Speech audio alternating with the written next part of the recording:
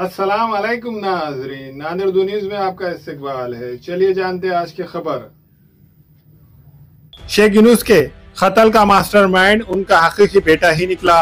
वज्रवाद police ने बेटे समेत दिगर दो मुलजिमान को भी गिरफ़्तार कर लिया है।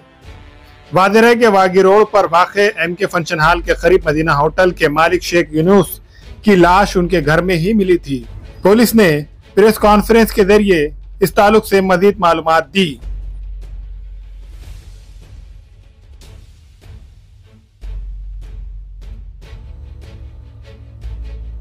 वजीराबाद पुलिस स्टेशन के अंतर्गत सी आर नंबर 440 ऑब्लिक 2024 एक गुना दाखिल है। अब यह गुना मर्डर का दाखिल है। इसमें यूनिसेक नाम का जो व्यक्ति है, इसका मर्डर हो गया था।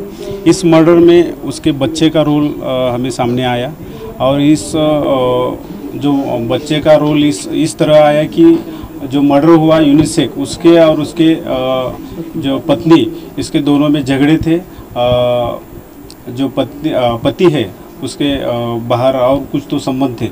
इसमें लड़के ने दो लाख की सुपारी दे दी। इसमें मनमाड़ के दो लोग हैं, जो योगेश कदम और उसके साथ शेख अमजद, इन दो, दोनों लोगों ने सुपारी लेके इस यूनुस का मर्डर किया।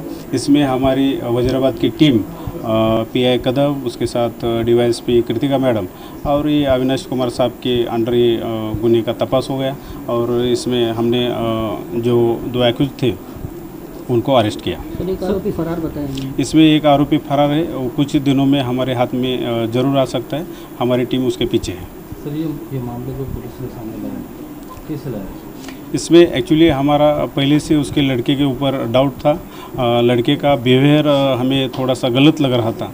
उसके साथ हमने सी निकाले सीसीटीवी फुटेज हमने बार बार देखे और हमारे जो इन्फॉर्मर थे, उनसे हमने इन्फॉर्मेशन ली और हम इस तय तक पहुँच गए। अस्सलाम वालेकुम मैं इमरान खान। हमें उम्मीद है कि आपको हमारा चैनल अच्छा लगता होगा। लेटेस्ट न्यूज़ के लिए देखते रहिए नांदेड़ उर्दू न्यूज़। और न्यूज़ के पसंद आने पर लाइक शेयर और सब्सक्राइब करना ना भूलें।